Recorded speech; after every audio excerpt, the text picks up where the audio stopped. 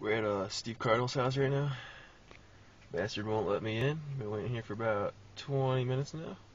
I'd say about 20 minutes. And uh, just uh, jacking off in the back.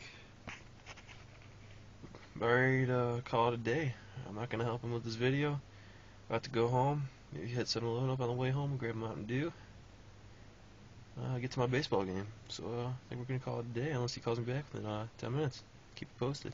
So after about uh, 20 minutes of waiting out here in the blistering heat, Steve Kardynal decides to let me in. Let's go make a video. See what this bastard's up to right now. He's probably naked or in a girl's outfit. I don't know. We're gonna find out. Kinda hoping he's dressed like a girl right now.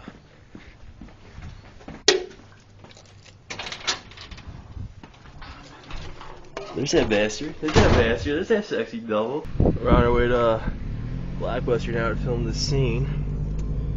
Film a steam for uh, Steve Kardynal. Doing a Justin Bieber baby parody. It's called Maybe. About to be dressing up like a woman. Pretty hot woman, actually. Looking like Scarlett Johansson. Troy, though, he says I look like Stifler's mom, so uh, we're gonna see how that works out. We're thinking about having some big double D's or some uh, alright B's. Haven't figured that out yet, but uh, it's gonna be an interesting day to say the least. I just hope it all goes good. Maybe we get some stuff done. Maybe get me in Hollywood. Who knows? Look at this sexy sexiness. What's going on, baby? Like that ass? Stifler's mom.